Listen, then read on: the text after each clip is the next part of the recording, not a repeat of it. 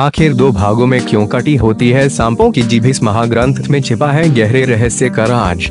सांपों को देखते ही अक्सर लोगों की सिट्टी पिटी गुम हो जाती है। आपने भी अपनी ज़िंदगी में कई सांप देखे होंगे और इतना तो ज़रूर जानते होंगे कि सांप की जीभ आगे से दो हिस्सों में बंटी हुई होती है। लेकिन क्या आप जानते हैं कि ऐसा क्यों है? सांपों की जीभ दो भागों में कटी हुई होने के पीछे एक गहरा रहस्य छुपा हुआ है, जिसका उल्लेख महाभारत में मिलता है। महर्षि वेद व्यास द्वारा लिखी गई महाभारत में सांपों की जीभ से जुड़ी एक बहुत ही रोचक कथा है महाभारत के अनुसार, महर्षि कश्यप की तेरह पत्नियाँ थीं। इनमें से कदरू भी एक थी सभी नाग कदरू की ही संतान हैं।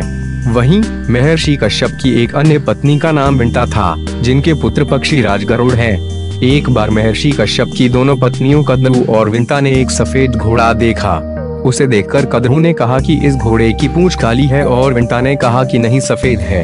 इस बात पर दोनों में शर्त लग गई। तब कदरू ने अपने नाग पुत्रों से कहा कि वो अपना आकार छोटा करके घोड़े की पूंछ से लिपट जाएँ, ताकि घोड़े की पूंछ काली नज़र आए और वे शर्त जीत जाएँ। उस समय कुछ नागपुत्रों ने ऐसा करने से मना कर दिया।